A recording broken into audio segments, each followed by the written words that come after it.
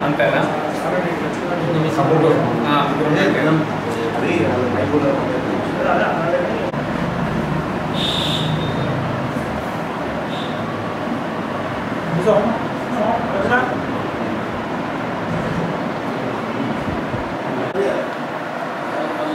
మాట్లాడడం మాట్లాడడం పని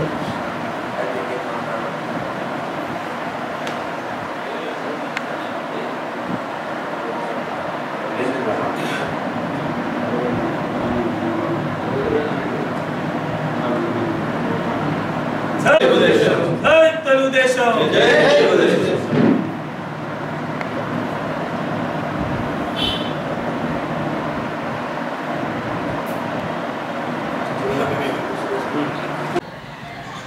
ముఖ్యమంత్రి గారు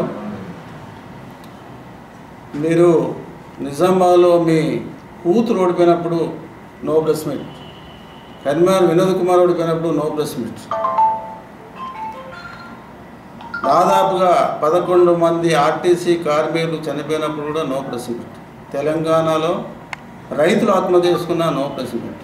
కేవలం హుజూర్ నగర్ ఎన్నికల గురించే గెలవగానే డబ్బు ప్రాముఖ్యతకి డబ్బులు పెట్టి బెదిరించి గెలిచినటువంటి దానికి ప్రెస్ మీట్ పెట్టి నాకు ప్రజలు అండగా ఉన్నారని ఒక ఇష్యూను పబ్లిక్లోకి పోవడానికి పోవడాని కోసం హంగామా చేసి కేవలం హుజూర్నగర్లో గెలిచినంత మాత్రాన మీరు ఎక్కువ హంగామా చేస్తున్నారు.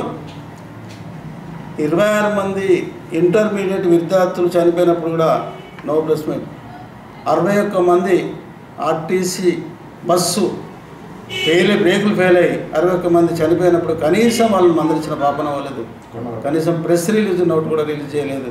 కేసీఆర్ గారు మా నాయకుడు ఎల్లమ్మ గారు స్వతహాగా అరవై ఒక్క మంది కుటుంబాలకు ఇరవై ఐదు వేల చొప్పున ఇరవై ఐదు రూపాయల చొప్పున ఒక కుటుంబానికి తన శక్తి వంచనగా ఇవ్వడం జరిగింది. మా నాయకుని దాతృత్వం మా పార్టీ యొక్క ఉదారత ఎట్లా ఉంది? కేవలం ఓట్లు నోట్లు వేరే పార్టీ వాళ్ళని సీట్లు వేరే పార్టీ వాళ్ళని కలుపుకోవడం వరకే నీ రాజకీయ చిత్రత ఉంది. ఒక కేవలం హుజూర్నగర్ దాని మీద భయంకరంగా మాట్లాడడం ప్రజలను కార్మికులను భయప్రాంతాలు చేయడం ఒక పనికిరానటువంటి మాటలు మాట్లాడడం ఆర్టీసీ అయిపోయింది ఆర్టీసీ ఇంకా ఏం లేదు అనేటువంటి మాటలు మాట్లాడడం ఇది ఎంతవరకు సమంజసం మీకు? ఆర్టీసీ కార్మికులకు వాళ్ళ న్యాయమైన కోరికలను మీరు వెంటనే పరిష్కరించాలని తెలుగుదేశం పార్టీ డిమాండ్ చేస్తుంది. హుజూర్నగర్లో డబ్బు మందు ప్రవా ప్రవాహం ఏర్లై అక్కడ. హుజూర్నగర్ ప్రజలు ఏం ఆలోచించారంటే కేవలం ప్రేమ కోసం కాదు. ప్రభుత్వం అధికారంలో ఉంది. మీ బెదిరింపులకు పెన్షన్లు పెన్షన్లు రావని రైతు బంధు రాదని అటువంటి ఒక మీరు చేసినటువంటి మీ కార్యకర్తలు మీరు చేసినటువంటి ప్రచారంతో వాళ్ళు భయంతో మాత్రమే ఓట్లు వేయడం జరిగింది. కానీ అతి కార్మికులు రోడ్డు మీద పడ్డరు.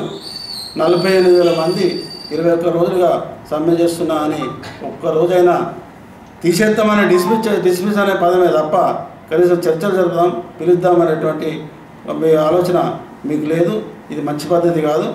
మిగతా ఉద్యోగస్తులు కూడా రేపు ప్రొద్దున రోడ్డెక్కే రోడ్డెక్కే పరిస్థితి ఉంది తప్ప వేరే కాదు. వాళ్ళు కూడా రోడ్డెక్కుతారు. వాళ్ళ కోరికల కొరకు సా- కోరికల పరిష్కారానికి కొరకు వాళ్ళు కూడా వస్తారు. ఆర్టీసీ నష్టాల్లో ఉందని ఒక దుష్ప్రచారం చేస్తున్నాను కేసీఆర్ గారు ఆర్టీసీ నష్టాల్లో లేదు లాభాలలో ఉంది. ఎట్లా అంటే జిహెచ్ఎంసీ వాళ్ళ యొక్క అడ్వర్టైజ్మెంట్స్ కోసము ఇచ్చినటువంటి బకాయిలు పద్నాలుగు వందల కోట్ల రూపాయలు జిహెచ్ఎంసి ఆర్టీసీకి చెల్లించాలి.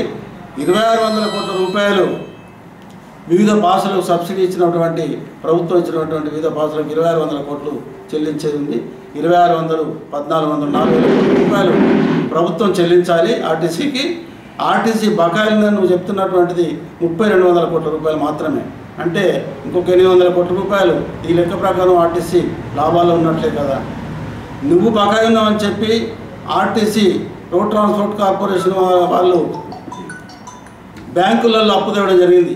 ఇమ్లీబన్ మార్టిగేజ్ చేసి తర్వాత కరీంనగర్ కానీ బస్ భవన్ కానీ వరంగల్ కానీ ఐదు వందల కోట్ల అప్పు తీసుకొస్తే ఐదు వందల కోట్లకు ప్రతి నెల యాభై కోట్ల రూపాయల వడ్డీ చెల్లించడం జరుగుతుంది.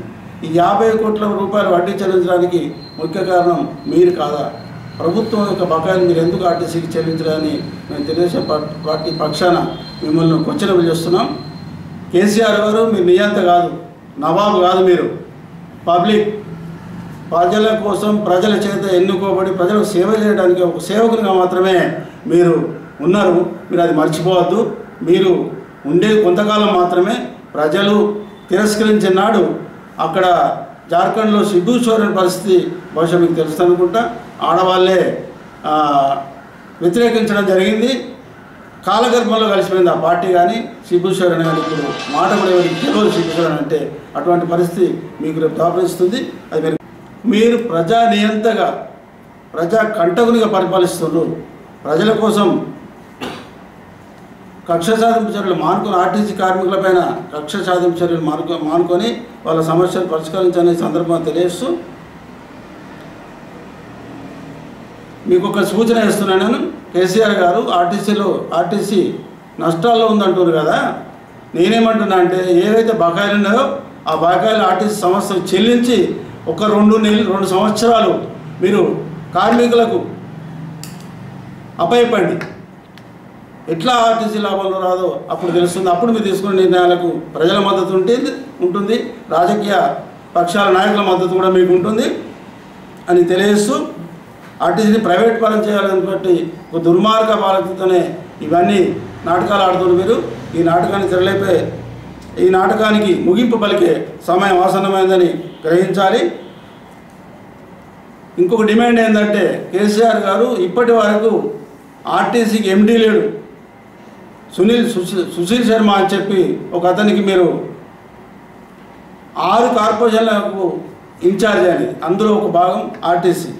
మేమేమంటున్నాం అంటే ఆర్టీసీకి పూర్తి కాలకు ఎండి నియమించాలి వెంటనే కోర్టు చెప్పినా నియమించాలంటే మీరు ఎంత తెలివైన వ్యక్తులు అర్థం కానటువంటి పరిస్థితి ఉంది.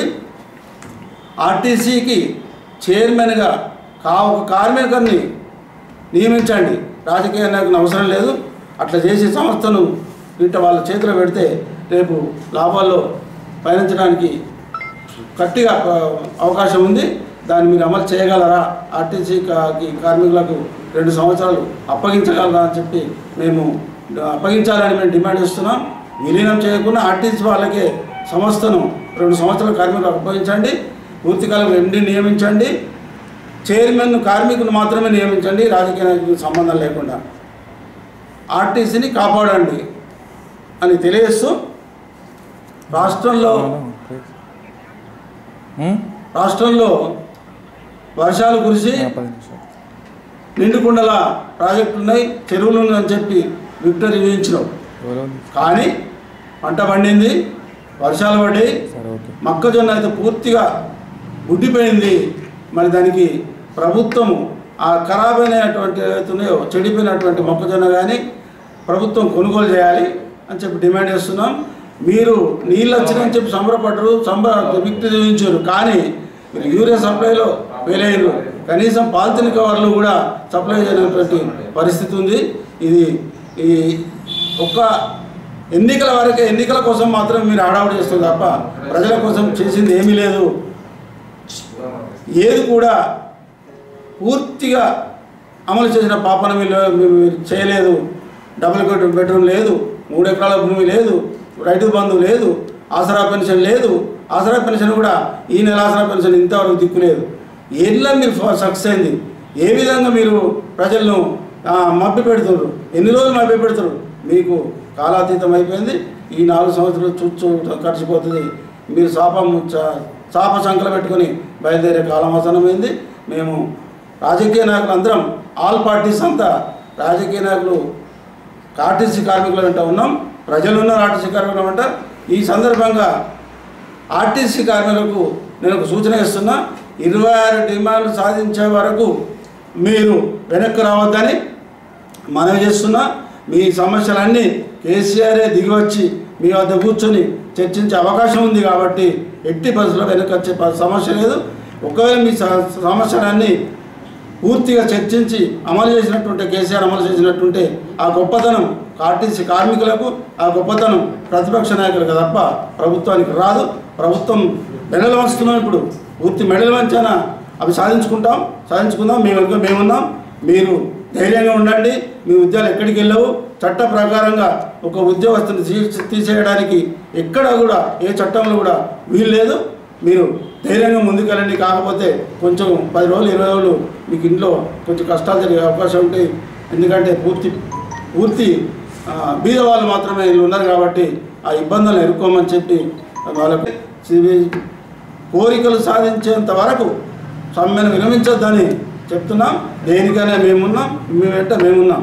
రోజుల నుంచి కురుస్తున్నటువంటి భారీ వర్షాలకు వరి చేతికొచ్చే దశలో నేలపాలు కావడం చాలా బాధాకరం. రైతులకు సంబంధించి ప్రభుత్వ రాష్ట్ర ప్రభుత్వం కానీ కేంద్ర ప్రభుత్వాలు కానీ ఇన్సూరెన్స్ చేపట్టి రైతులకు ఆ ఇన్సూరెన్స్ అనేది పంట బీమా ఇప్పుడు రావడం లేదు. రైతు పరిస్థితి అగమ గోచరంగా ఉన్నది. ఇప్పటికైనా రాష్ట్ర ప్రభుత్వం కానీ ఇటు కేంద్ర ప్రభుత్వం కానీ రైతులకు ఈ ఇన్సూరెన్స్ తోటి ఆ బీమా కల్పించి రైతులను ఆదుకోవాలని ఈ వరి పంటకు ఇప్పటి వరకు ఇక్కడ ఉన్నటువంటి ఈ జిల్లాకు సంబంధించినటువంటి ఎమ్మెల్యే కానీ మంత్రి కానీ వ్యవసాయ శాఖ అధికారులతోటి రివ్యూ మీటింగ్ ఏర్పడేసి ఎన్ని వేల హెక్టార్ల భూమి మొత్తం పొలం వరి పొలాలు నష్టపోయినారో నష్టపోయినటువంటి నివేదికను సీఎం ద్వారా తెలియపరిచి ఈ రైతులను ఆదుకోవాలని తెలుగుదేశం పార్టీ నుంచి డిమాండ్ చేస్తారు